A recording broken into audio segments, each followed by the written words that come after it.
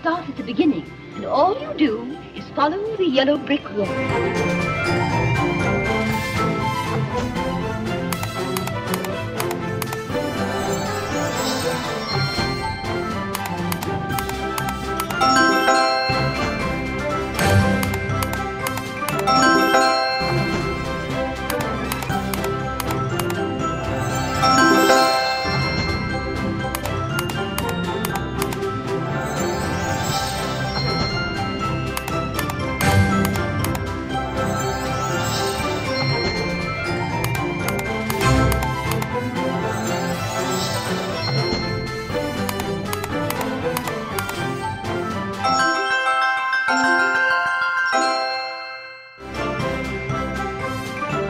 Aren't you forgetting the ruby slippers?